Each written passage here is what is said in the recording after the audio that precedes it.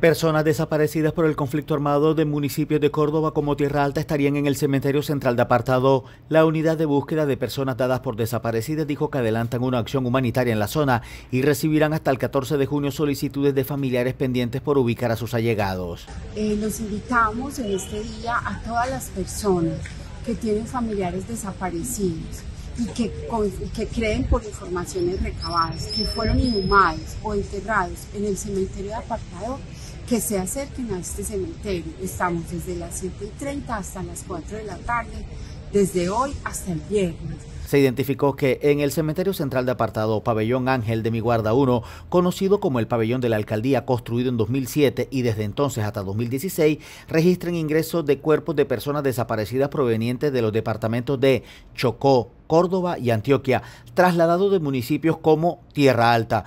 Acá los esperamos para ya sea que hagamos tomas de muestras, ampliaciones o diálogos familiares o solicitudes de búsqueda. Es muy importante la presencia de estas familias en el cementerio para ayudarnos a encontrar a sus seres queridos.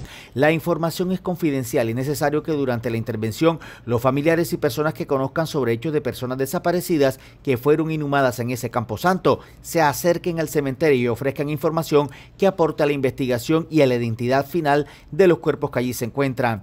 La JEP ordenó en su momento mediante auto la intervención técnico forense en el cementerio religioso municipal de Apartado, luego de recibir aportes a la verdad relacionados con hechos investigados por la situación territorial de Urabá.